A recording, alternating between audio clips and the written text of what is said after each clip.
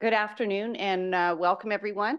Uh, my name is Kathryn Stoner. I'm the Mosbacher Director of the Center on Democracy, Development and the Rule of Law here at the Freeman Spogli Institute for International Studies at Stanford. And I should mention that you are sitting in the Freeman Spogli Institute right now, and some of you may not even have known it.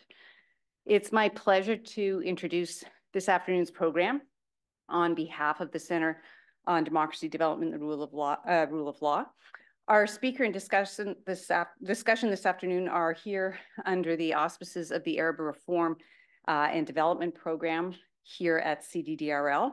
And the program's focus is on the social and political development in the Arab world and has had a long-standing role, 15 years now, I'm told, in bringing to the Stanford community scholarly, informed discussions on pressing questions about governance and social and political change in the countries of the Arab world. I'd uh, especially like to um, thank Dr. Hicham Alaoui, who I saw come in, but he's hiding out there somewhere. There he is in the front row, um, who's in the audience today for serving as one of our key partners and key supporter for the ARD program, as well as my friend and colleague Larry Diamond, who will moderate um, today's discussion. And also huge shout out in back of the room to Dr. Hesham Sallam, who is the Associate Director uh, of the ARD program. And also, I'm happy to say, my Associate Director at CDDRL um, for research. Thanks also to our terrific staff, um, Nora in the back of the room in, in green, uh, Nora Sulatz and Amy Whalen, um, for their superior organization and communications about this event. And it's wonderful to see the room so full. Now on to our speaker and how our program will proceed uh, this afternoon. Dr. Salam Fayyad is an economist and former prime minister of the Palestinian Authority. He also has served in many international uh, organizations, uh, for example, with the International Monetary Fund, um, where he was from 1987 to 2001. His tenure included serving as the IMF resident representative in the West Bank and Gaza Strip from 1996 to 2001.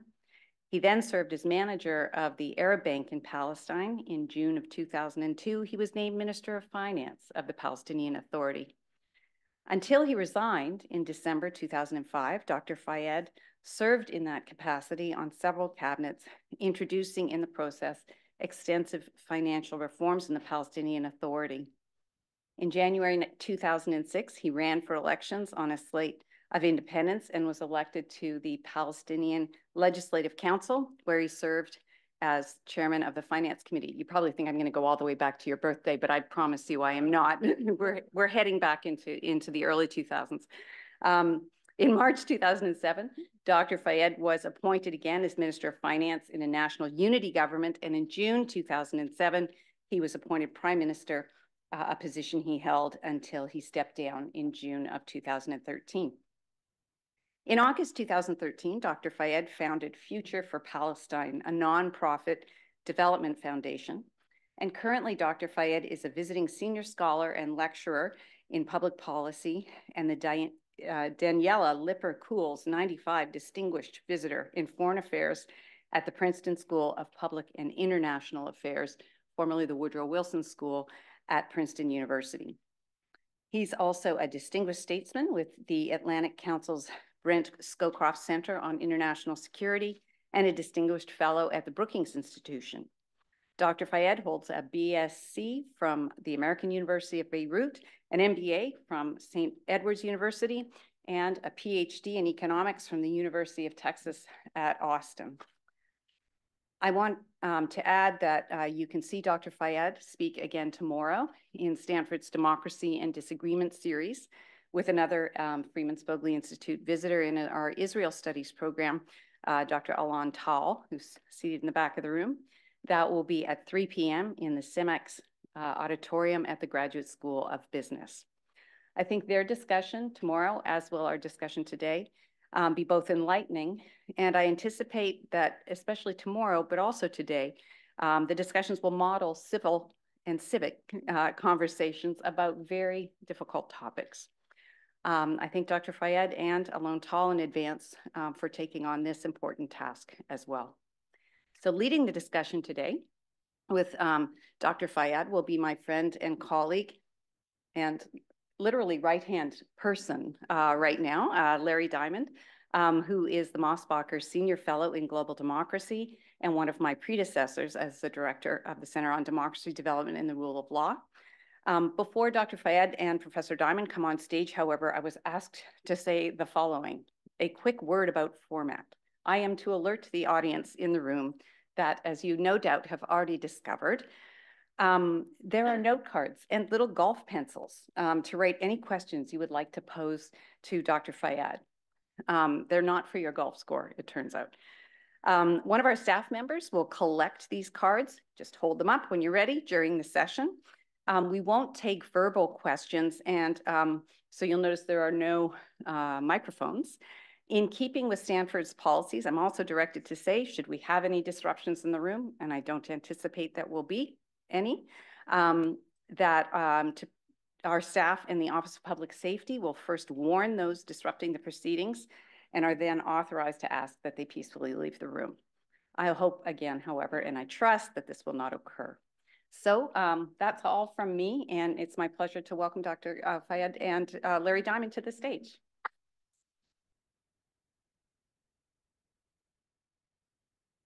Uh, well, I want to begin by saying just what an honor it is and a joy to be in the presence of and to be in conversation with this wonderful man, this spirited intellectual, very popular teacher at Princeton, from what I hear, hear which is, uh, you know, another great educational institution. And uh, really, as I think most of you know, and it's probably one of the things that brought you to this room, a really quite important historical figure who I think um, has a historical uh, mission that is not yet fulfilled.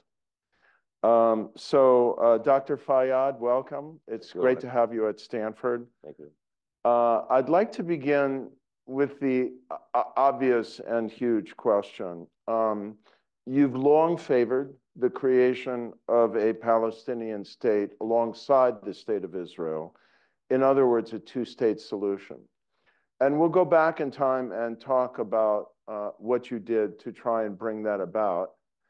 And I'd like to, over the next 40 minutes or so, explore how, if at all, uh, it might be brought about. But first, I'd like to ask you why. Uh, many people, uh, even some who once favored this as a resolution of the conflict, now question whether it's still feasible. So um, do you still favor a two-state solution? And if so, why do you think that's the best and most promising pathway? Well, first of all, thank you very much, Larry, for hosting me. Thank you all for your interest. Uh, thanks, Stanford University. And let me say, see if I can remember the acronym CDDRL. Yeah. Uh, how about that? And, and also program on Arab reform and democracy for making this possible. Really happy to be in, in your company. Appreciate the interest. Of course, we meet against the backdrop of very, very difficult and trying times for, for all who follow developments back in the region, particularly in Gaza, obviously, and we at some point will get to that. Uh, not before I first address the question that you posed to me about solution concept that became known as two-state solution. One of the problems, and, and I'll speak to that in terms of where I stood, where I stand today, but one of the key problems is that it became known as such, as a concept, but it is a loosely defined concept, and it meant, obviously, different things to different people. And part of the reason, in my humble opinion, why the process failed is that because there were differing perceptions in terms of what, in fact, the PLO had in mind when it accepted to sign on to the Oslo Accords. Uh, it was the promise of statehood in what became known conceptually as two-state solution, but statehood where on the territory Israel occupied in 1967, West Bank and Gaza, including East Jerusalem, essentially. That basically is was the promise uh, of Oslo. And so when people say two-state solution, that's what it meant to our leadership at the time. And that's how people generally understood it. And by the way, there was a period of time uh, five-year period between 1988 and 1993, that particular period was very interesting in one important sense, given our long, you know, history and, and, and struggle for freedom, for being able to live as free people with dignity in a country of our own over many, many decades. That five-year period between 1988 and 1993 witnessed the largest extent, greatest extent, largest degree of national consensus on, on a goal made possible, in my humble opinion, uh, on the strength of the spirit of the first intifada uh, of uh, 1987 that made it possible for our late leader Yasser Arafat to, in 1998, stand up in Algiers and say, in the name of God, in the name of Arab Palestinian people, the Palestinian National Council declares the establishment of the state of Palestine at the time. And that session of the PNC, in fact, in addition to that which was said then, adopted something that's called Palestinian Peace Initiative, which was about accepting United Nations Security Council Resolution 242. There was a major kind of turnaround, U-turn, if you will, in the history of national movement, Palestinian national movement. It started, its genesis goes back to the mid-70s, when it, the PLO was first, for the first time signaled willingness to accept a solution on the territory Israel occupied in 1967. So that's what it meant to Palestinians. That's what it meant to the leadership.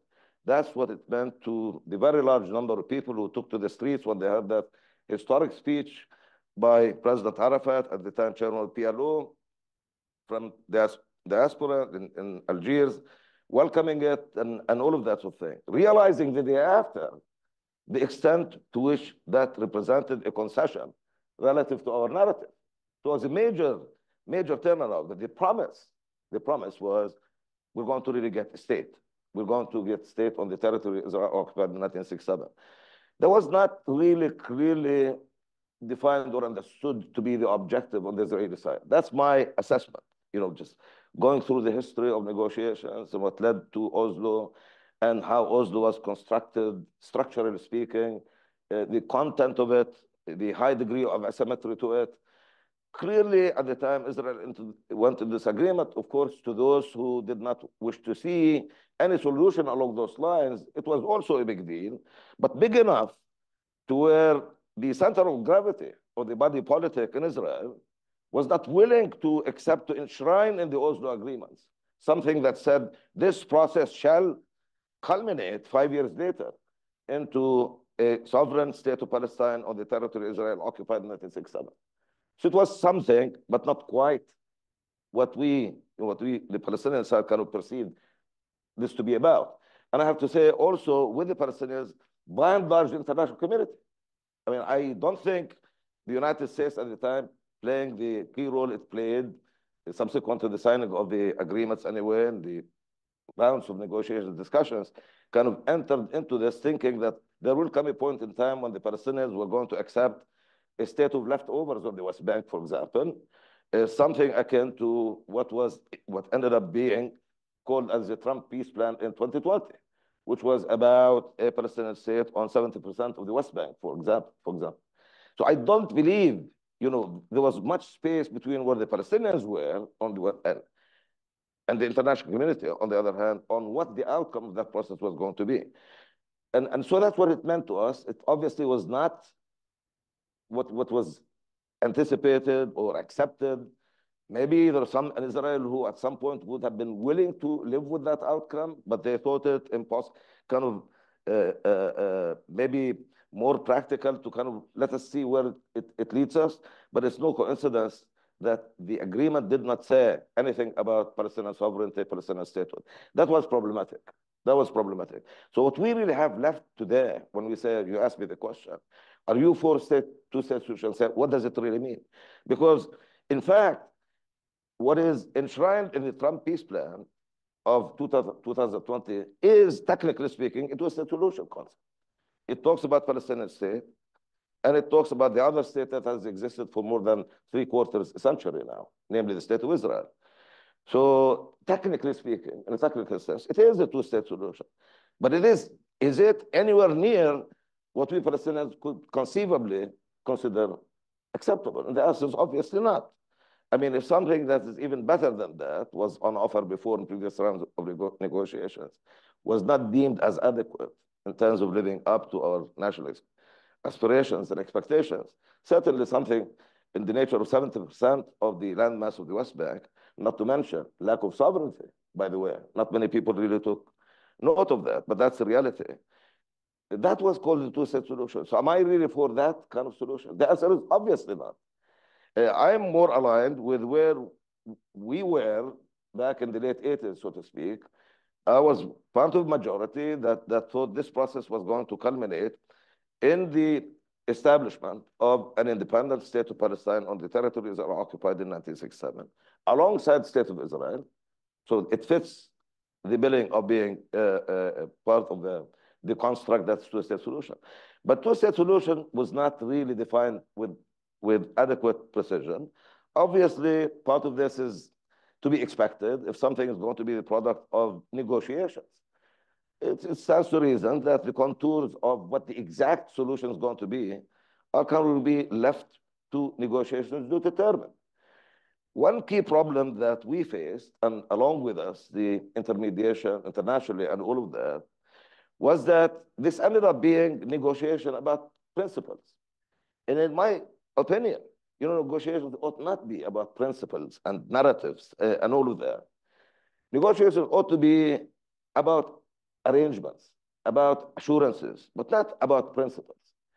So you want a two-state solution, meaning a state alongside the state of Israel, well and good. What is a key organizing principle that could determine, you know, where that state of, of Palestine is going to be as part of that whole geography? it made sense for that to be defined as the territories are occupied in 1967. Does that mean that there can be no negotiations on border of state? No, it doesn't really mean that. So in brief, let me tell you, I am for that solution. I promise you to give you a, a position, my own position on that. Provided that any quest for that outcome going forward, given the terrible experience of the past three decades of failure after failure after failure, there are not many still invest in that concept anymore on either the Palestinian or the Israeli side, to be honest with you. I think for the benefit of all, that process must be preceded by formal recognition of our right as a, rights as a people, our national rights. It's very important. Oslo was not about that. Oslo was very transactional. Oslo was a framework within which the PLO, acting on behalf of all Palestinians, recognized the right of the state of Israel to exist and you are here in centers of democracy and capacity building and institutions and, and, and statecraft and all, you know the difference between recognizing the existence of something, which is the norm in international relations, and the, the, the recognition of the right to exist. This is a, a profoundly higher order of or, or form recognition that, to the best of my knowledge, does not exist, never existed anywhere in the history of international relations. This is the kind of recognition Israel got from Palestinians back in 1993. And what did we get in return? Recognition by the government of Israel of the PLO as the representative of Palestinian people, to which I often said big deal. It was a big deal, of course, from Israel's point of view, because it conferred a lot of legitimacy and imparted weight to recognition by the PLO of Israel's right to exist. So I'd say Going forward, and this is a conversation that is now uh, coming back to the fore, particularly after October 7 and the ensuing war, which still rages on as we speak, that there must be a path to, to a state solution. And I'd say, okay, provided that the mistakes of the past be completely avoided, the lessons learned. And one of the key lessons learned is that it's a mistake to engage in a diplomatic process that is not defined well in terms of outcome, you know, what it is supposed to lead to, that it is not based, particularly from our point of view, on recognition of our national rights as a people. Because so far we have gotten none of that. So if a process like this is preceded by the kind of recognition of our rights, something which, given the experience over the past three decades, would, would suggest is necessary, then yes, for sure. And eh, I, like many Palestinians, I believe, would find it then reasonable to engage in a process that could take us there in, in agreement and through negotiation. But to continue to say, you know, two-state solution, two-state solution, in fact, it ended up meaning nothing. It ended up, eh, the expectation of us to be happy with any crumbs that are thrown out at us, any leftovers, and for us to be called or thought of as totally ungrateful if we say we beg to differ. No, sir, I'm not in that space. And I don't expect any Palestinian to be in that space. That's not a happy place to be in, not only from our point of view, but I would submit also from the point of view of all other countries in the region, including in Israel, if all are interested as they must be, for the benefit of all in the region, to live in peace, prosperity, in a, in a sustainable way. The process has to be recalibrated. It has to be more principled than has been so far. So if that's what we're really talking about, I'd say yes. We begin with that. And I think until we get there, uh, it's important for us to really begin to attend to, to attend to the task that is most pressing right now, for sure. A, to see the war come to an end, and to begin to, as soon as possible, to deal with the terrible, you know, aftermath of it. And for that to, to happen, the war first must stop. And that's absolutely essential. That's something we may get an opportunity to talk more about, but I think it's an essential and, and, and critical point to begin any conversation with on personal question today. I want to come to uh, the current conflict uh, and the uh, uh extremely painful and devastated state of Gaza today. But first, I want to complete yeah. a little bit this conversation, reflecting on the past and the concept of a two-state solution. You mentioned asymmetry. Yes. Um, I'd like to ask you two questions. Um, first, um, can you reflect on the asymmetry that has always been embedded, I think, in Israeli assumptions or in Israeli approaches to thinking about a two-state solution whenever there was dialogue about it, that a Palestinian state would have to be demilitarized. That is, that Israel wouldn't feel secure uh, with a Palestinian state having, let's say, a, a conventional army. Uh, and second of all, is there any other aspect of asymmetry beyond what you've noted and the uh, issue I just mentioned that you want to surface here? Yeah, there are a number of aspects actually and, and dimensions and manifestations of, of asymmetry, key amongst which is the one I mentioned, the structural component. And it's huge, given that this is really a lot about uh, two diametrically opposed narratives, for sure, on our side, Israeli side, in terms of who owns the title to this land. You know, for us Palestinians, our ancestral land, and for Israel, for Israel, it's land of Israel. I mean, that's the starting point of analysis. So I keep saying that that's really the most important manifestation of asymmetry, the structural component. Because if you really think about what was done in 1993 in those terms, specifically and technically speaking.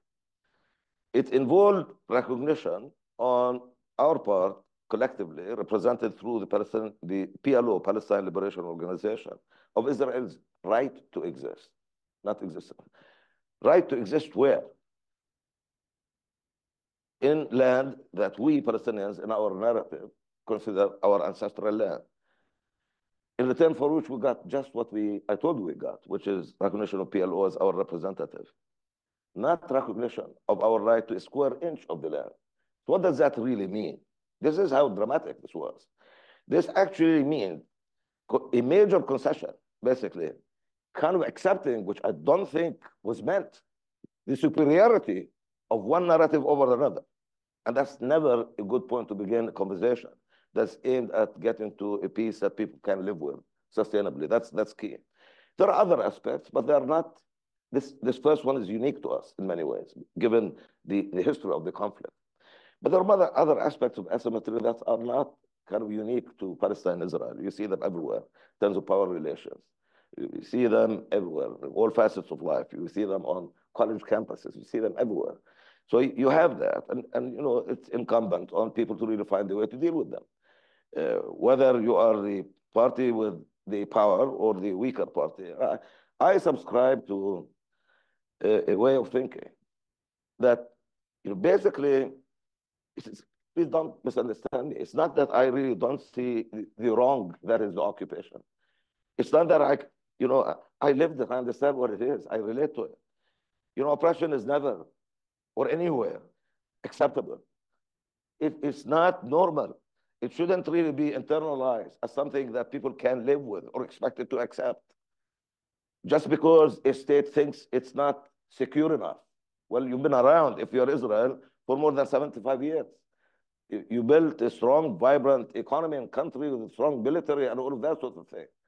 So to deny a people the right to self-determination, which is a right that is absolute for us under international law, just like any other people anywhere in the world. Read the Declaration of Establishment of State of Israel in the way that it related to the right to self-determination when it's so said explicitly. Like all other nations, it said. Well, we are one of those other nations. And we are as entitled to the exercise of right to self-determination as any, any, anyone else. That's very important.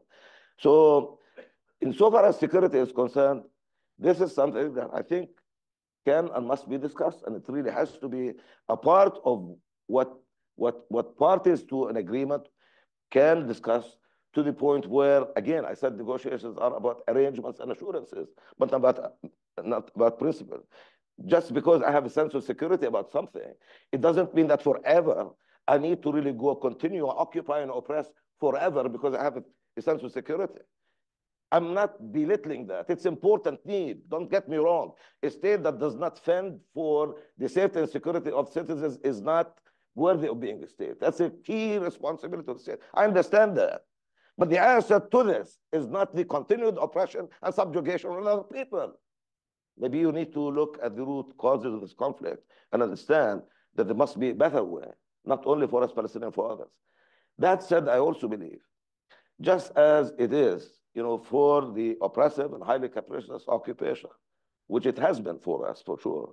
Important to kind of do some introspection and, and, and look at this and think it through thoroughly. It is equally important, if not more important, for us Palestinians to understand. Just because we are the weaker party in this uh, uh, balance of power does not mean that we kind of really wait until the justness of our cause, which is the just cause for sure, you know, gets us home. We must actively assume full agency in the act of our liberation. We must. Yeah, we are the victims for sure. But we should never really continue to think that somehow we're going to really get to where we need to get by continuing to claim ownership and monopoly over a victimhood corner. There's a lot to complain about if you're Palestinians, and I often say there's a lot to cry about, especially these days if you're Palestinian. But that by itself is not going to deliver us. The freedom that our people deserve, the freedom and the dignity that many of us died and continue to die, and certainly nothing that really rises to the aspirations of those people, or our people, or our younger people and all. We must assume full agency in that act of liberation. That's what we must do. You get that going. What does it really mean? If we want an entity, we should invest in actually invest, I mean, totally in, in, in projecting its reality on the ground. And I consider that to be the highest form of resistance in the face of oppression and occupation. You, if you, if, if there are some who really think that somehow this is something that needs to be postponed forever because it suits them politically, or genuinely they really feel somehow it's going to be a threat to them. There is no better antidote to this than us Palestinians doing what is absolutely necessary under any scenario. If a state is what we want, the most important act of getting there is projecting its reality on the ground. Occupation is not going to make it easy for us. I know I served in government what I was trying, trying to do precisely that. It's not easy. And a lot of people were skeptical about that, kind of really almost kind of describing it as an exercise, exercise in the impossible, like a Sisyphean task sorts. But I never really understood Sisyphus to be an exercise in futility myself.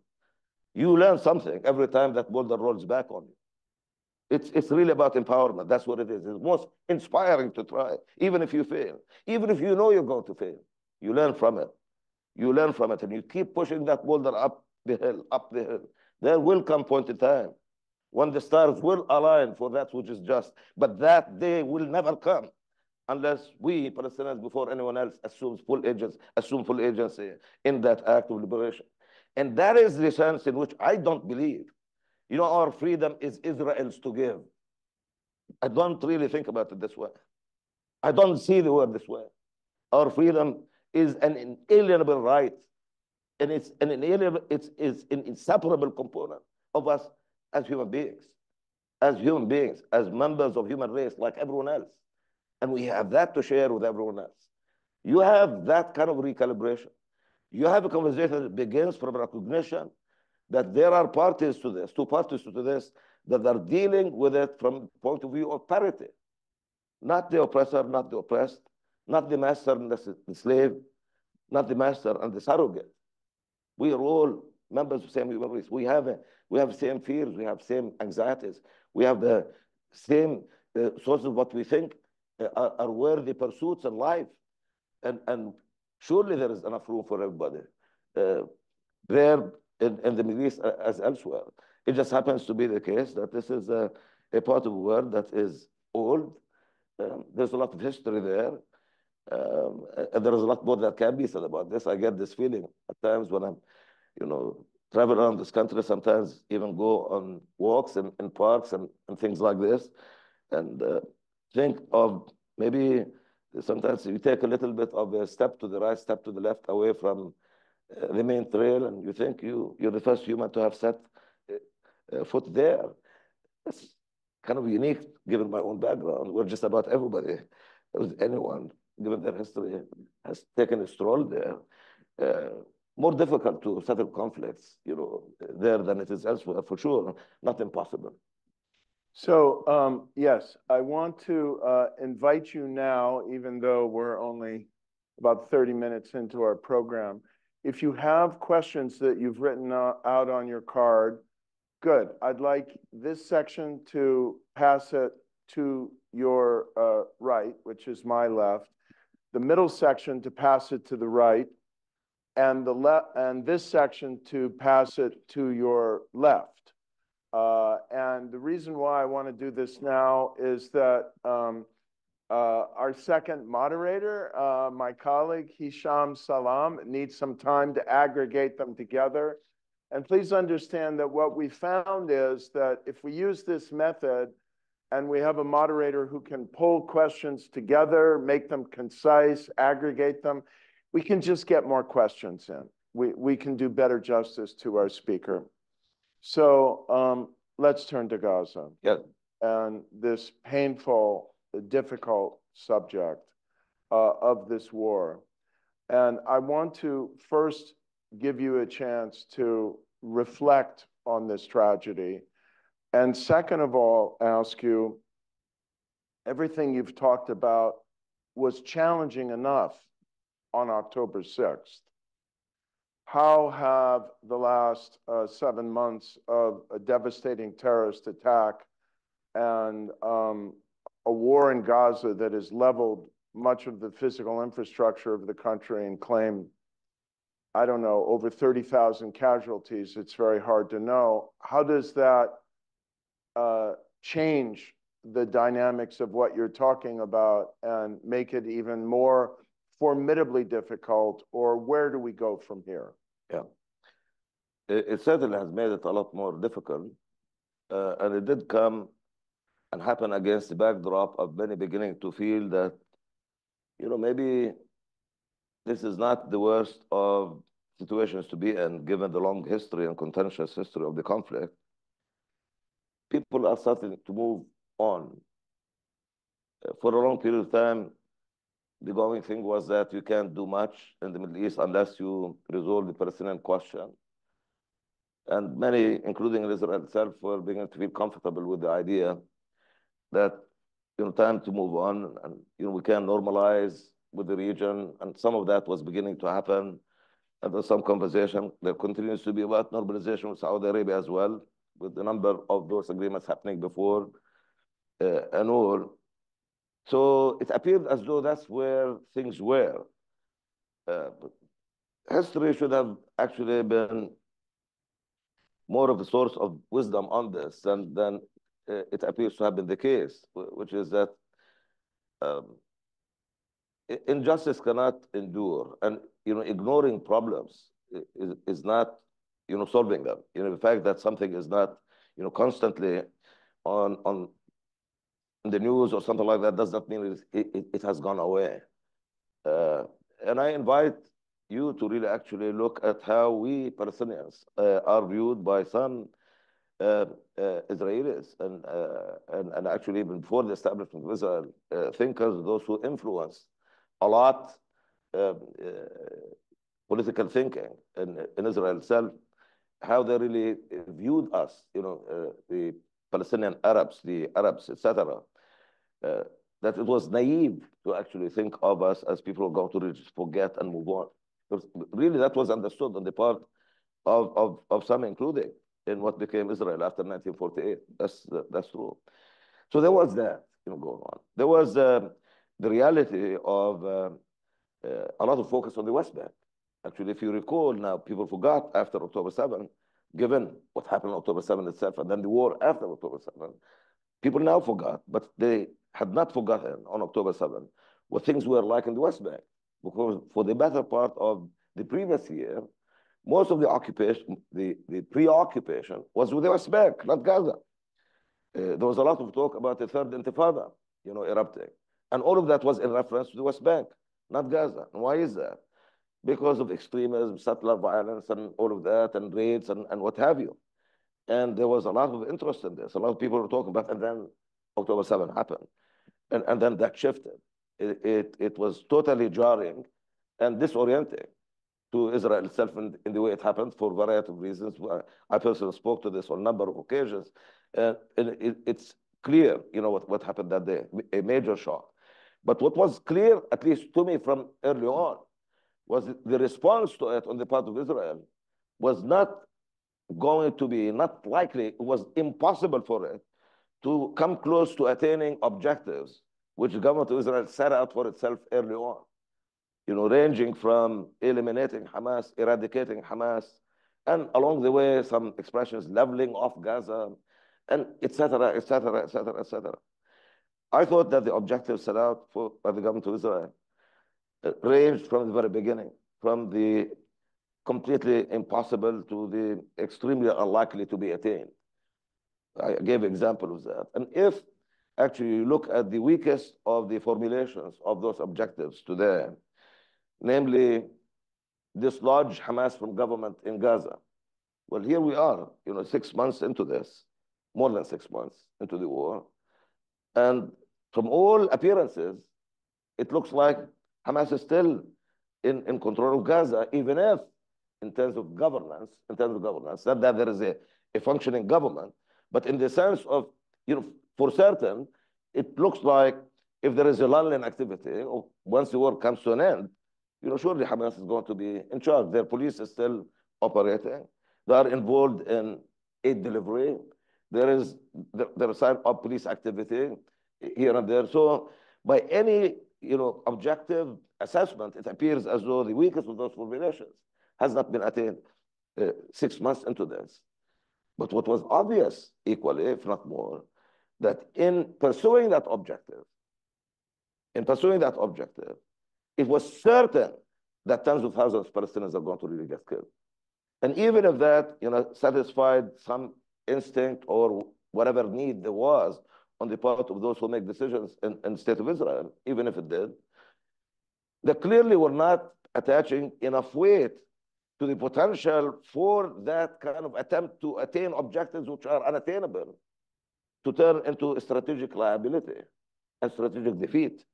Something which Secretary of Defense of the United States, Lloyd Austin, you know, those were his words, you know, early on, many months ago, he said that much. And I think what we have seen, you know, around the world subsequently in terms of, you know, people first, you know, expressing a lot of sympathy with Israel Uh, on 7th October, in the immediate aftermath of 7th October, even demonstrations that you really, now people kind of see images of demonstrations in, in, in, in Europe and the United States supporting Palestinians and all. But some of you may have forgotten, but it really actually happened in many places around the world. There were demonstrations in support of Israel. You know, that, that truly happened. People res re respond to what they see.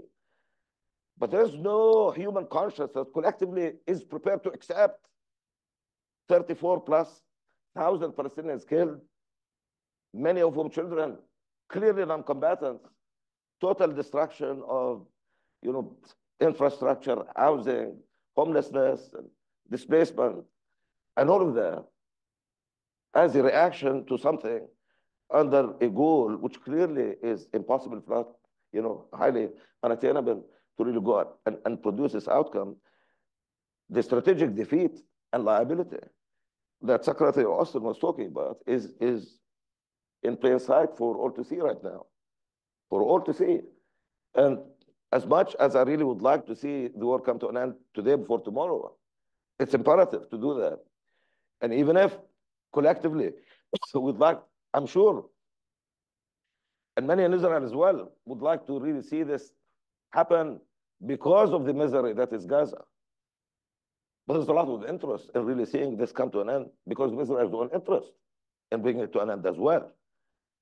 Is there going to really come a point in time when somebody puts a foot down and says, enough already? It's, it's way overdue for that to really happen. And so for people now to really, you know, kind of look at symptoms uh, by way of reaction to uh, what's, going on in Gaza, and, and we, we need to resist the protests and we need to do something about this and, uh, you know, ignoring, you know, why or how this whole thing came into being. That's just really very short-sighted. It's not the right way to go. And I'm actually here just to be explicit and specific. I'm talking about like a, a student protests and in, campus and expressions of discontent with, with policy and all of that sort of thing. And I think, you know, that's a. That, that's a normal reaction. That's a normal reaction. What else would you expect?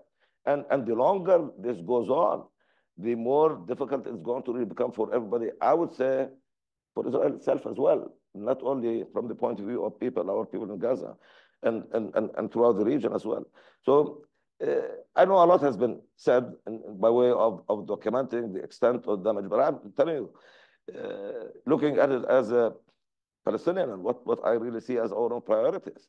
You started the conversation by asking me about two-state solution and how we resolve the conflict and all. These are all important questions, but I, I think the most immediate task cannot be for a very long period of time, uh, cannot go beyond doing all that we can do beyond the work, stopping to lift ourselves up and deal with the misery, with, with the psychological trauma, the, the deep wounds this, this, and scars of it that's going to really leave us with for generations to come, generations to come.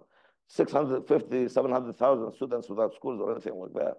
People cooking grass for, for meal and, and something like that.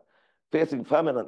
I mean, how can, when, people are not, they're talking to you now, they're not sure they're going to be around when you talk to them tomorrow morning over the phone or something like that. I'm going through this. Deep scars of that. Total families completely eradicated, eliminated from the uh, uh, uh, population register. Completely. I mean, that's just not easy to deal with. You, you, anyone like standing up talk about like a future and two states and solution and all of that. And I need to remember to say something to you about two states as well to really close that circle. But before that, anyone really is in that space, not starting with this, they're not really seeing the reality for what it, it must be seen as a reality. But in addition to it being necessary and important, I think it could also be, you know, our springboard to you know, that, that national project again. There we rise again from underneath the rubble, from underneath the ashes, the misery, the death, the injury, the suffering.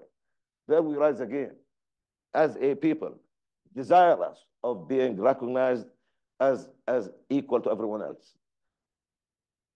Not superior, but certainly not inferior to anyone else. We're all human, wanting to live in peace and wanting everybody to live in peace, security, and dignity and, and, and, and fully pursuing what they think is, is, is desirable from their own point of view, and being respectful of that and willing to live with that and, and, and share that space uh, and all. But that really has to be the, the starting point of analysis. The one point that I really wanted to make as I was really responding to the question on, on two states, uh, because there has been a debate about this. In, in fact, up until October 7, which is ironic in some ways, there are many people who kind of really uh, seem, seem to me to be in a rush to outdo the other guy by saying how impossible it is for two-state solution to materialize, that it is dead. It's more dead than dead, and, and all of that. Uh, I myself use that expression, or I was made to say that in a, in a title of an article. It was not my choice of title, but it was evidently the sense of what I was saying. You know how these things go. But in any event, after October 7, and you, you saw the transformation in Israel in the wrong direction in terms of really not wanting to see Palestine Palestinian state and all. And you see the war, etc. Then all of a sudden, people are really talking about two-state solution again. Uh, I maybe if we had this conversation a year ago, you probably would not have started the conversation with it. I don't know. Maybe you did. You would have. But but it's back there. People are talking about it again. Uh, but I remember that when people were racing to outdo the other guy by saying how impossible it was to continue to pursue this pipe dream, that's the solution. Oh, then therefore one state solution. Let's say like a, as if de facto, if it's not two states, so the, for sure there's going to be one state solution. Uh, that I think is, is, is not really good way of, of looking at it. If you really are pursuing seriously uh, an agenda of national liberation, if you are Palestinian, it's not, uh, because that's not, we have been living uh, what might be called uh, one state reality, uh, a reality which I think there's enough within the camp in Israel that's not desirous of seeing any kind of Palestinian statehood, not even Palestinian authority, continue to exist as a Palestinian political entity, um, to really continue to run the show for a long period of time uh, as a reality that, in their view, is sustainable. I mean, how many times have you heard international uh, diplomats, serious, senior diplomats, I don't want to mention names, it's public and, and all, you know, lecturing uh, uh, Mr. Netanyahu about how impossible it was for Israel to be both Jewish and democratic at the same time if it continued to hold on to the territories occupied in 1967. And I used to kind of say, how naive. Do they think that Netanyahu cannot do arithmetic? I mean, it's like they don't, don't, what's the point? I mean, he needs to be lectured in terms of demographics. I mean, obviously he could. I mean, he knew the demographic trends, but they did not stop for a minute to think that he may have a different solution concept or a non-solution concept, if you will, in mind. And that's what was really and has been unfolding for a long period of time. This one state reality. You say apartheid, what apartheid? You have Palestinian authority. We have, uh, I had my passport on me, I have showed it to you. We have passport, we have a flag. That's what he would say. We have a, a, a, a political body that represents them. They are there, we're here. So under what guise are they supposed to participate in a political process in Israel to you know, run for office or something like that? That's the kind of reality that we're looking at. If, if some you know, harbor thoughts about that being um, uh, the solution, that's not a solution, that's a reality. And that's not a workable reality. Certainly one does not fulfill our aspiration, being able to live uh, uh, as free people in a country of our own. It doesn't. Now, uh, I'm not going to really take issue with the concept that says, you know, one state for all, equal rights and all of that sort of thing conceptually. I mean, in, in, in democracy and, and all of that. Why not? But, but that's not on offer. And just because the, the quest for Palestinian statehood stumbled in, in the, within the framework of two states living side by side does not impart automaticity to one state solution. I just you know want us to really be clear about that. Uh, and and uh, and it's important for us to really stay focused and, and not lose sight of what's going on. To think of what's going on as a solution that's acceptable to Palestinians certainly isn't. All you have to do is just basically look at what is happening to us, what continues to happen to us, and what is likely to continue to happen unless you know there is a, a, solution that's agreed at some point. Well, um, I have a number of other questions. I feel like um, uh, we could go on, you and I, for several hours here. I have absolutely no doubt you would have the energy for that.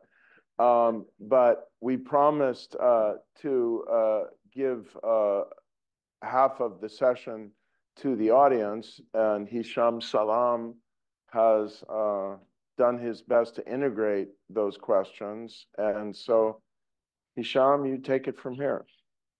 And then I'd like one, as save time for me to ask one question at the end. Yes, absolutely. Absolutely. You don't even have to ask. Uh, well, I want to reiterate uh, and echo uh, what Larry and uh, and Kathryn mentioned earlier. It is uh, such a great honor to have you with us, Thank and you, uh, we really cherish and uh, appreciate uh, the fact that you came all the way here to give us this rare and unique opportunity uh, for engagement, uh, to learn, to deliberate critically, especially during these very difficult and very pressing times that we're actually experiencing.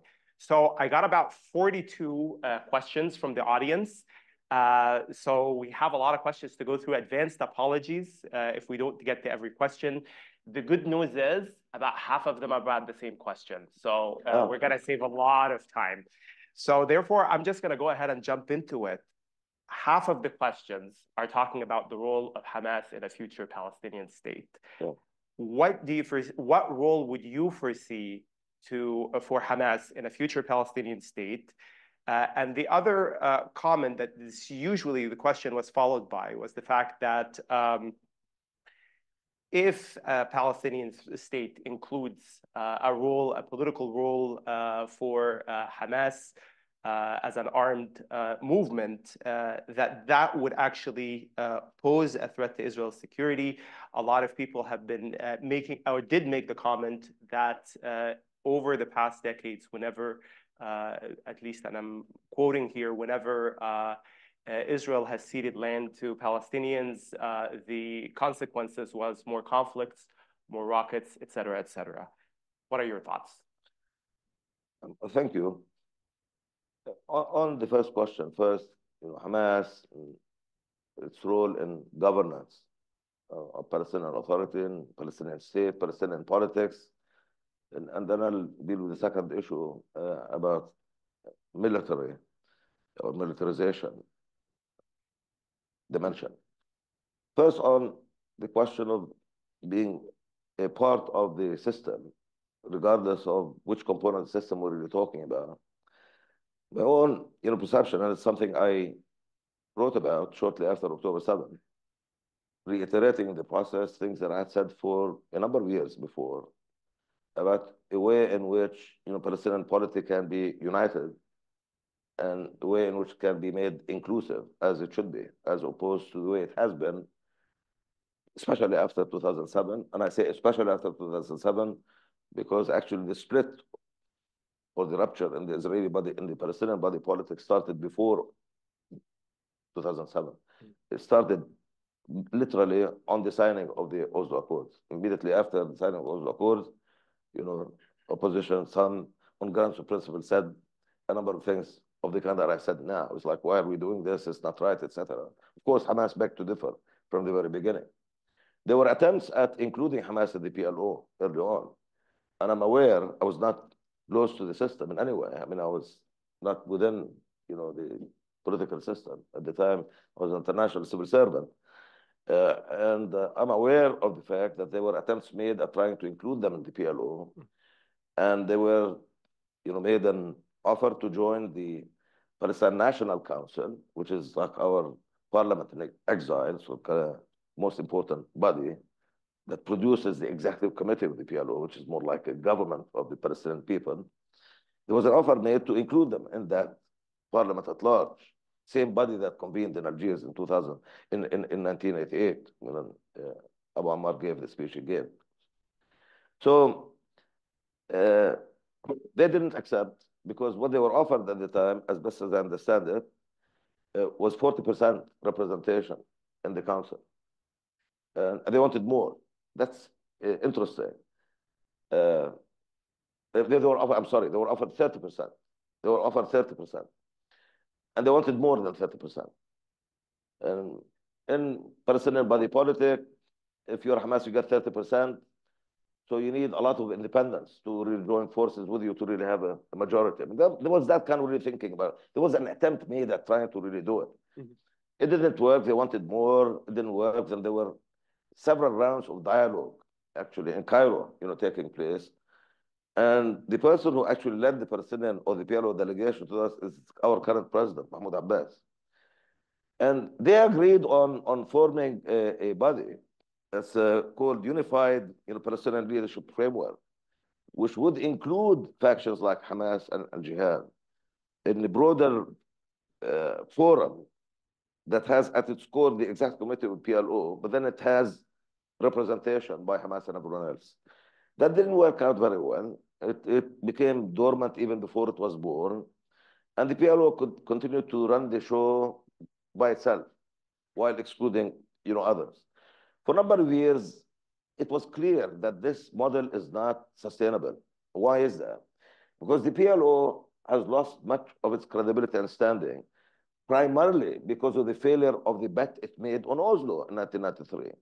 I mean, 1993, you know, the agreement, every, people were supportive, by and large. Palestinian people were supportive. I told you that period of time, people were supportive of the transition that the leadership made uh, and the transformation of the program and all of that sort of thing. But when they realized year in, year out, that the dream of freedom and liberation and statehood was fading away to the point that by the time when it was supposed to happen, there are not many people who thought that was going to happen anytime.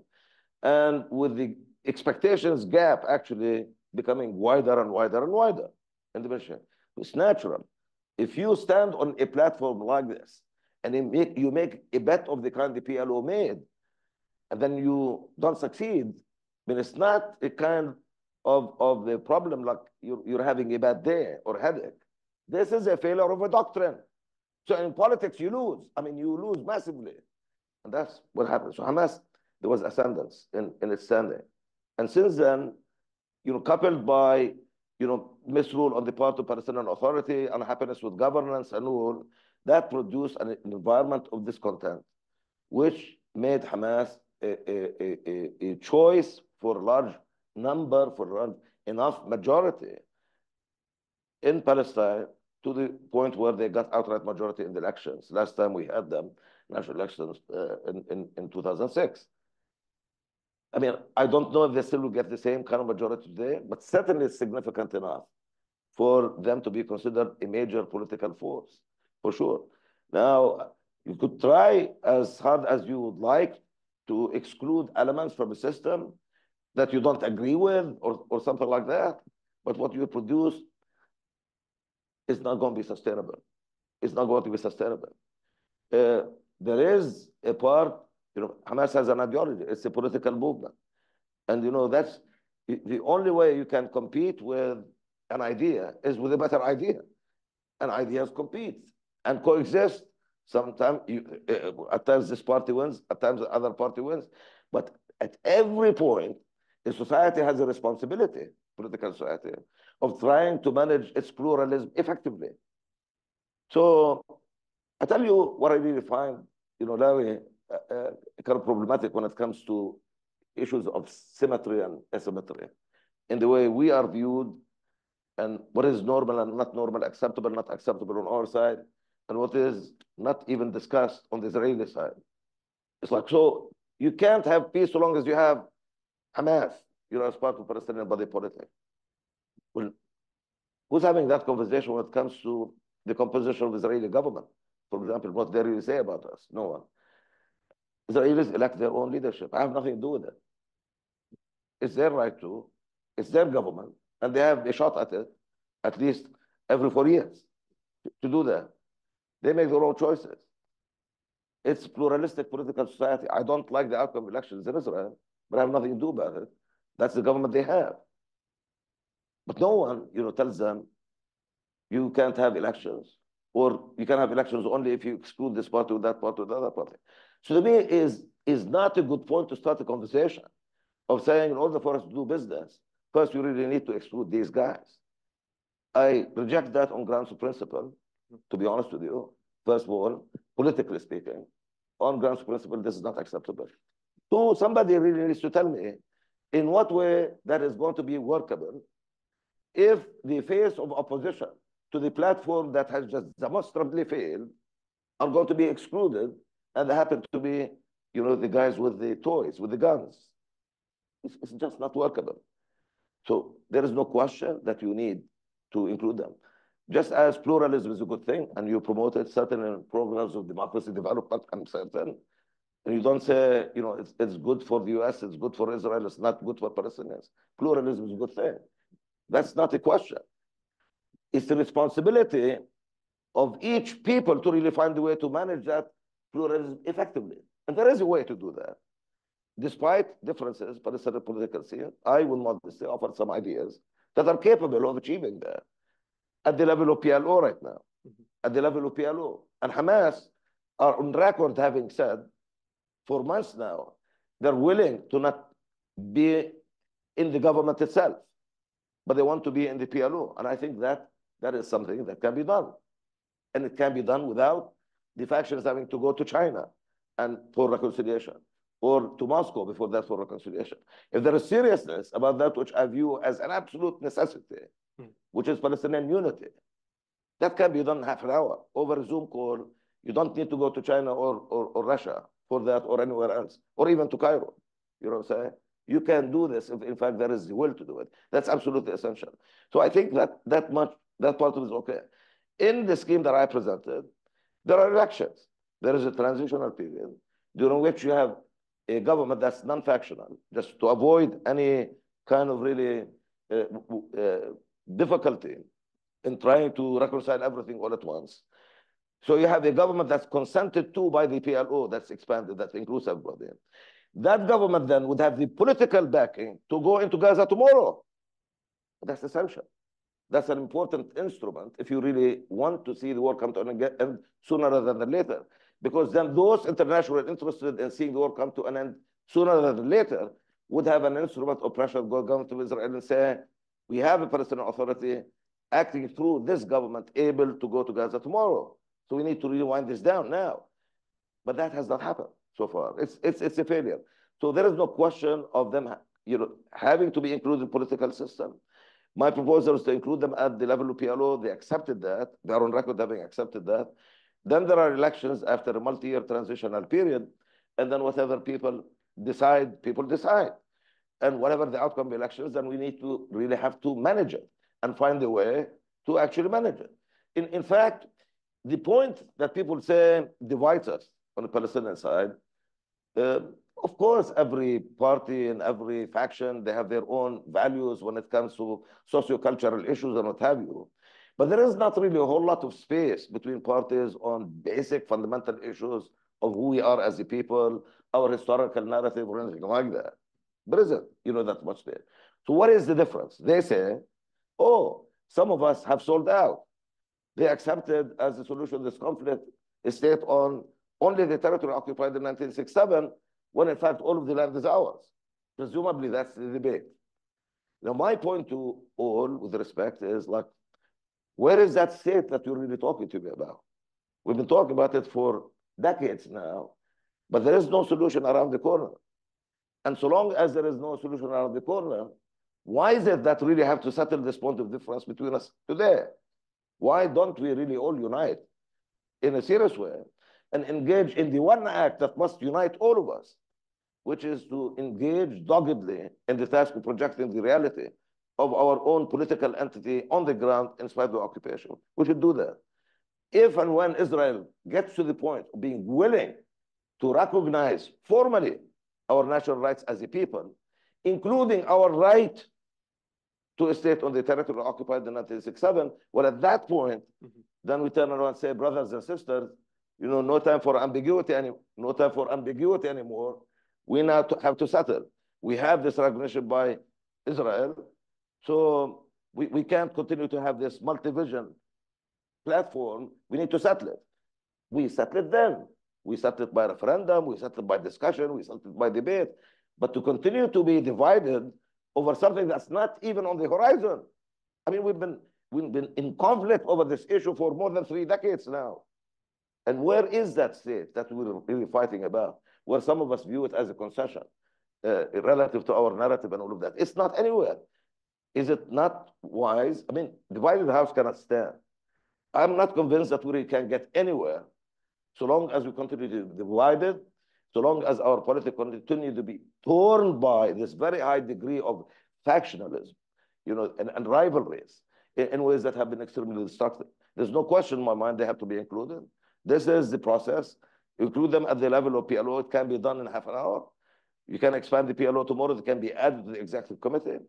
Their role as executive committee of PLO, acting on behalf of everybody, is to collectively consent to a government which can go to Gaza tomorrow and begin to assume the task of managing the affairs of Palestinian people in the West Bank, Gaza. For those who are looking for a state on the territory of Israel, uh, Israel occupied in 1967, if that is not going to include Gaza, there is not going to be a state anywhere. So it seems to be necessary first step anyway to really bring Gaza into the fold. Not to mention that it is compelled by the terrible situation that is there given the war, given the devastation of it, what has been going on there for the past more than six months now. I have a lot of follow-up questions, but in the interest of time, I'm going to turn. By the way, I have time. Sorry if I'm taking too long to answer oh, questions. My fault. No, no, no. You're... I, I, make it up. I'm, I'm, I'll be here for as long as you want me. It's uh, it's all good. Same here. Same yeah. here. We have we have a couple more. No, I'm just kidding. The um, I want to turn to a set of questions that are actually asking about the situation here in the United States on college campuses. That's above my pay grade. Above, yeah. But um, yeah. Some, I mean, some of the questions are definitely asking you more directly to comment about your own opinions and your own assessment of uh, the protests that are happening. But some of the questions are actually taking issue and um, expressing concern about the slogans that are being used, be it on college campuses, uh, be it in protests that are actually happening in the United States and in other countries as well. Uh, you know, one of the issues that people are raising is that they feel alienated by slogans like Free Palestine, from uh, the river to the sea, uh, and, uh, and uh, apartheid. And my question for you, if you wanna, if the question about the protests themselves are above your pay grade, no, no, is about the the specific slogan free Palestine, uh, as well as from the river to the sea, Palestine will be free. What does the, what do these slogans actually mean to you in your own mind?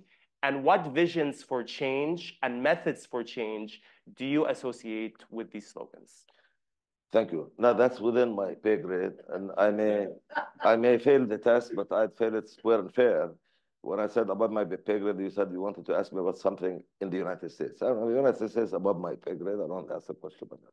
But on, on the protest, um, I think I just said this uh, in a meeting that we had before. A lot of things are true and, and can be true at the same time, by the way. Uh, and, and problem is sometimes people get fixated over one element of, of something and to the to, to to the extent of saying you know if this is true then everything else must be must be false and that's where you really get into difficulty look i did refer in in what i had to say to you at some point to this conflict being fundamentally a case of two diametrically opposed narratives there's no secret to this it's it's obvious Palestine is our ancestral land. You ask me about my own my own view. I'll be very forthright and tell you where I stand on this. I am a Palestinian who believes that Palestine is our homeland. That's our narrative. That's our historic, it's our ancestral land. Jews have the narrative that refer to the land as land of Israel. So clearly, you're, you're talking about a case here where the principles to the conversation, to the extent there is one, as there needs to be one, between two competing narratives. But at the same time, there is a majority, I believe, or majority can exist at some point, that basically says, yes, that is the case. It has been going on for such a long period of time. We need to find a solution. But by definition, that solution cannot be you know, all A or all B. It obviously cannot be the case. And the idea of somehow, you know, finding a way to share the land is not new. It goes back to the 30s of last century. Be- before the partition resolution of General Assembly of 1947. That's, that's absolutely true. It's very, well- very well known. We know that. So when you have people, by the way, I passed by encampment here yesterday at, at, uh, at Stanford and I Well, didn't awesome. see anything but, but orderly student congregation and people sitting around, you know, talking to each other, appear to be totally peaceful. And um, normal, I saw some slogans, uh, talking about things which you would expect students to talk about. I saw something similar on the campus of Princeton, uh, similarly. Now, specifically on, you know, slogans that are seen as an affront by the other side. And the other side being, you know, Israel, the other side could be the Palestinians. That's the whole idea, is to really actually look at this from both sides. There are some practical ways of dealing with this.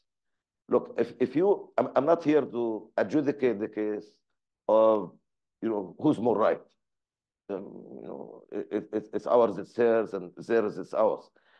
But a slogan that actually stands in the face of from the river to the sea, Palestine shall be free, as per se.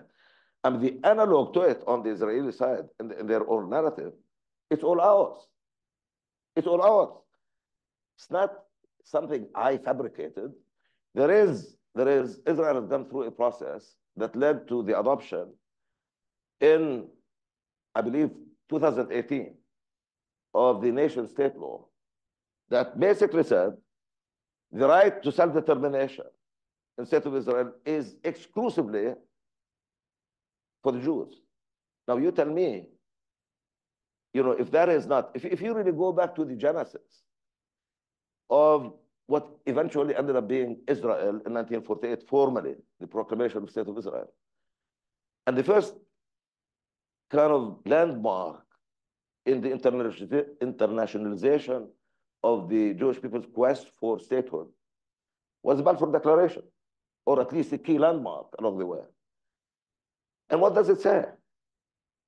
It talks about the right of Jewish people being viewed sympathetically by Britain to have a homeland in Palestine. But what about the rest of us who are there in Palestine? How are we referred to? So on the one hand, there are Jews whose rights are recognized to homeland in Palestine, or that is viewed sympathetically. But who are the others? Who's the other? The other was defined by who he and she was not. We're the non-Jewish communities. Non-Jewish communities. We're defined by who we are not. So there is no question that when this came into being, this came into being against the backdrop of an ideology that basically saw this land eventually as being state of Israel, state that is at least at a minimum for a Jewish majority. That's a, there's no question about that. So you take something that Palestinians and Palestinian sympathizers are saying in, in isolation as if there is no analog or counterpart to it in the other narrative. That's just not true. Now, the very same people who say from the river to the sea, Palestine shall be free. If it is a statement of narrative, I just explained to you where I stand on this. If it is a statement that is about something, something more than that, in the sense of like, uh, as, as it is often described as anti-Semitic, or this is about getting rid of the Jews and all of that sort of thing, I squarely re- reject that. You know what I'm saying? There, there is no moral ambiguity here. There ought not be. That is not acceptable.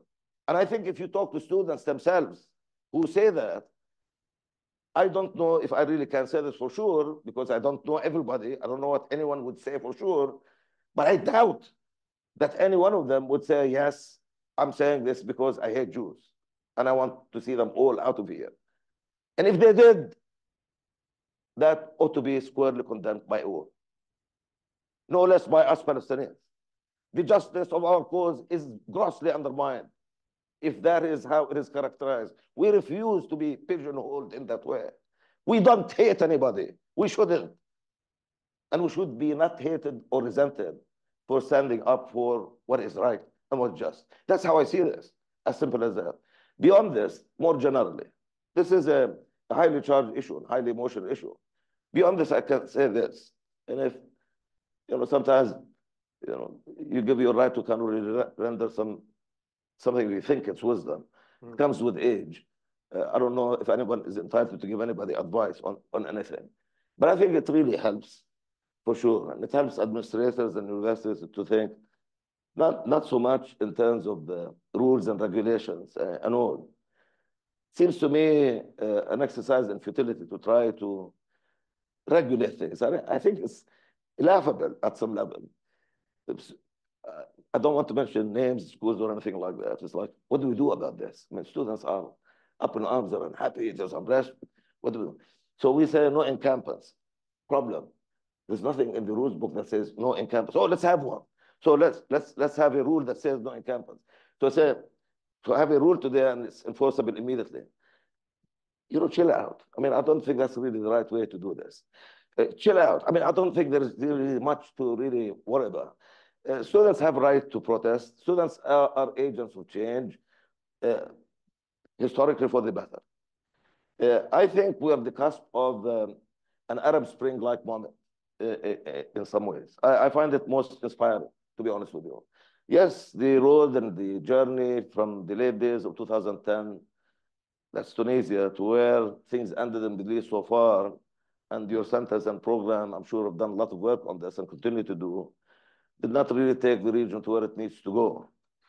But that rendezvous with justice will someday come for people throughout the region to be able to feel their respected citizens in their own countries. As simple as that. That's what I see students really yearning for and expressing.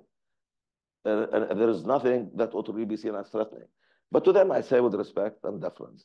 When it comes to students, you need to be absolutely deferential because they decide. To me, you know, schools are about nothing if they are not about providing the most propitious environment for students to pursue their own personal intellectual development, meaning learning, you know, learning. And, and you learn a lot when you actually, from time to time, you know, depart from your kind of zone of comfort and uh, your own, you know, identity group. You tend to congregate, whether it's whatever it is that really, you go to university, it's really time to, from time to time, take a peek and listen into what others say. It, it really helps. That's rule number one. You can't you codify this. You can't have rules that enforce, you know, force students to do this. Because I think it's a good thing. It, it really opens you up a lot. Secondly, you know, be for and against something. Don't conflate that with who's saying it. I mean, that really also helps kind of calm things down a little bit. Don't hate somebody for saying something that you disagree with. Disagree with what they say, but don't dislike them for and kind of take a personal issue with them this way. You calm things down. Rules cannot have much to do with this, but it's really more something that people arrive at. It's more like a code of conduct. It's, it's basic, basic manners, a basic organizing principle. Whatever happened to getting along pleasantly? Uh, this is a, a phrase one old professors, God bless his soul, Wendell Gordon, an institutional economist, University of Texas, used to say a lot, getting along pleasantly. And, and uh, had many, many conversations, but not, not in this context. How can you really codify that? But it seems to me a, a good rule of thumb would be to learn that it's not that profitable, useful, or maybe even not good manners to engage in discrediting or undermining our people's view, other people's view of their truth. People are entitled to their own truths in the way they see them, their own narrative in the way they see them. But this cuts both ways. This cuts both ways. And it's really the wrongest of time when emotions are high to really engage in a conversation with the aim at discrediting somebody's truth. Even truth. I mean, Einstein is, is reported to have said, I don't know if he did or not, there's a, debate about this. Nevertheless, I kind of really like it he said uh, reality is merely an illusion, albeit a very persistent one. It sounds like something he would have said, but, but there are stories that he may not have said it. But this actually, it, you know, has a lot of meaning to it in, in some way, if you think about it. in, in some way. So why not, if, if somebody says, this is significant to me, this is culturally, spiritually, politically significant to me, that's their truth. But I think it should be taken as such, accepted. You're entitled to yours as well. Comes the time people can discuss these issues, you get to a shared space. And the shared space that binds everybody is that sense of humanness. That's that's that's the space that really everybody belongs to. You approach things this way. You cannot codify these things. It's more like a community creed, if you will. It's a culture. And if schools begin to be known for this, it can be really good selling point for them to have more students. But on the other hand, parents are looking at their kids kind of being corralled out of the squares here and there on horseback or something like that, uh, because they're demonstrating, well, think of yourselves. Think of the times when you really took to the streets back in the 60s. I mean, the parents and grandparents of this generation, all of a sudden finding it so out of control. I just passed by the encampment, nothing. So it's all right, people, but it's very meaningful. It's, it's very meaningful. And I think it really, this is precisely the kind of, this is what I mean when I say things like this ought to be honored and respected, not resisted. People are expressing themselves. People really feel terrible about what's going on. They would not have acted or reacted against the backdrop of better or different conditions. They're reacting to something. Those feelings ought to be respected. And I think with enough space for everybody. And as I say, something is, is, is, is viewed as offensive, just don't park it there. Move on. Uh, let's just stay focused on what this is about. There comes a point in time you want to really talk to me about narrative, let's just talk about narrative some other day. But for now, if this you find really offensive to you, okay, I will not say it. But, but I'm not here to really deny or explain away or be apologetic about, about something which I believe everybody anywhere in the world is entitled to their own perception of the truth and their own narrative. That's basic. That's basic, you know, component of really being able to live uh, uh, uh, in, a, in a cohesive society, in, in harmony. this is about all harmonious existence. I think it's important. I tell you what is really the worst part of, of it. Worst part is kind of speak from both sides of one's mouth. You, you speak, if you are addressing an audience, you say something, you speak another audience, you speak something else. No, I, I think, and this is really important, you know, important role which educators have to play, administrations have to play. I think that really need to be a little bit more principled and take a step back and, and think about this. And when you do this, you will find that people of respond to you. My last point on this, I'd say, you know, do not remember that you need to deal with needs of this uh, nature only when there's trouble. Mm -hmm. There's ample time and opportunity. In fact, compelling reason for there to be much stronger interaction, particularly with students, throughout the year, in all seasons, in good times, you know, and, and, and talk to them and, and, and etc. Because when things happen that are out of control, sometimes they do. It'd be much easier to for someone to show up and say, let's have a conversation, as opposed to having that conversation only when, you know, tensions are high and emotions are out of control, where you really cannot have any conversation anymore. Okay, well, speaking of chilling out, I'm just going to go ahead and stop here because I think we have time for one short question, and I want to make sure that Larry Diamond gets his question, and okay. I'm going to give him the last word as well. Thank you. Um, this is a bit of a personal question. Also. And I will confess that I'd forgotten that Kathryn was going to introduce you, so I'd written out an introduction of you. And I noted that uh, you um, were so impactful as prime minister and as a state builder uh, that there was a noun that was termed, uh, coined to characterize your approach to state building. And it was called Fayyadism. Uh, and it was meant to refer to efforts, our colleague Frank Fukuyama is going to love this, uh, to build an effective state to reduce corruption, to develop infrastructure and a market economy. You're an economist. You've been characterized as a technocrat, a patient, technical, quiet state builder. I don't think anyone who has heard you here uh, for the last 90 minutes thinks of you as merely a technocrat. Uh, you spoke with and speak with incredible conviction and frankly, passion, which is what we think of as a leader of a state and not simply a leader of a government. Uh, Mahmoud Abbas is in his late 80s, I believe. Um, you know, some people think he may not be um, president of the Palestinian uh, Liberation Organization and leader of the Palestinian Authority much longer. Would you consider going back to Palestine to lead a state and not just a government? So that's a personal question. Uh, oh, Within your pay grade, I hope. it is within my pay grade, and I, we had this conversation before, uh, and you were kind enough to ask me if there are questions I would not like to be asked. Uh, but for the principle that I do not like to really draw that line around conversations, and I wanted this to be as free-flowing as possibly can be, uh, I said, no, let's just have a, a, conversation. But now that the question came up, I have to answer. Uh, I'm sorry. No, no, that's all right. I mean, I, I told you I don't mind. I mean, honestly, I don't mind any questions. It's like a, uh, in fact, nothing comes that easy when it comes to you know thinking about what you personally might do or not.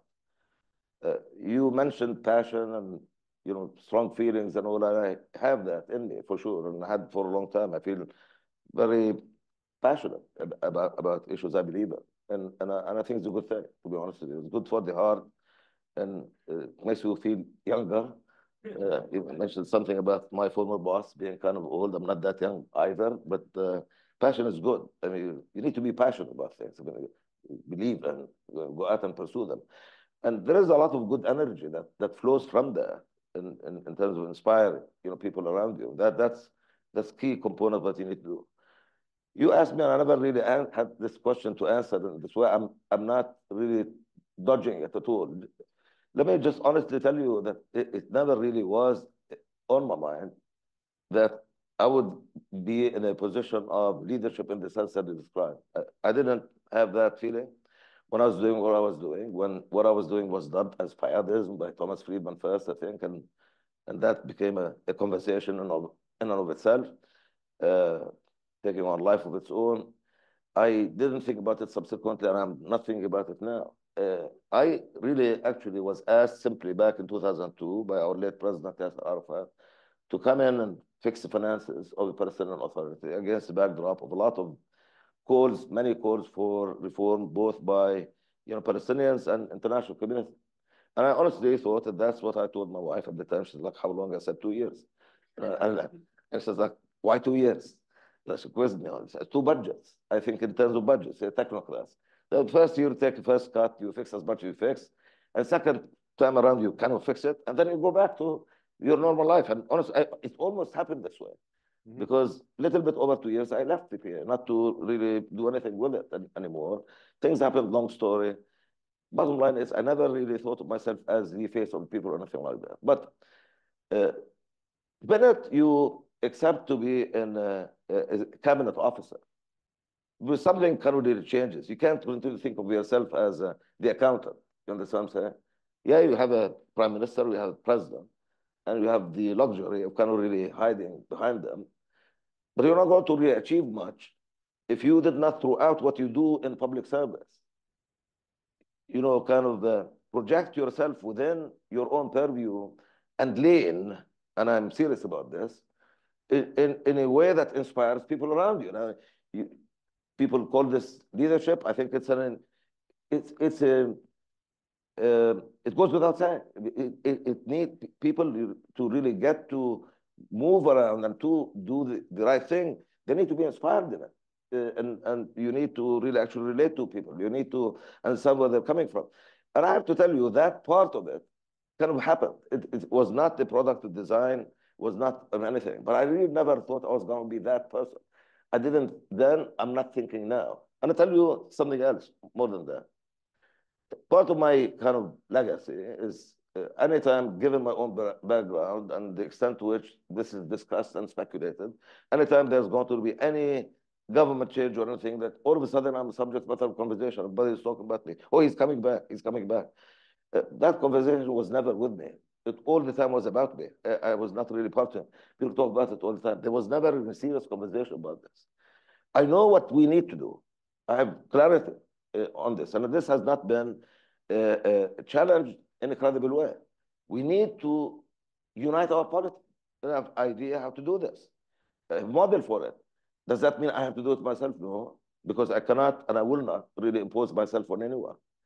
Uh, only what we really need now is consensus, and we need elections at some point in time.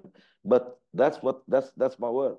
Uh, I never, you know, twice it happened to me. First, when I was asked to join as a minister of finance, without much thinking about it, I did, and I was asked to. Well, I served many times minister of finance, and then when I asked to serve as prime minister, I honestly did not think much about it at the time in terms of the, enormity of it and all of that, and a sense of the enormous sense of the duty uh, that we have toward the country. Look, we're, I, I mean what I say. Uh, uh I say people deserve, you know, the best. That's the essence of what it's about.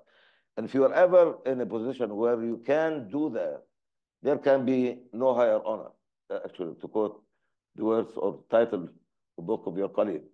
Condoleezza Rice. Yeah. Yeah. no higher honor. If anyone of you gets the opportunity to serve, do and do it with passion as well.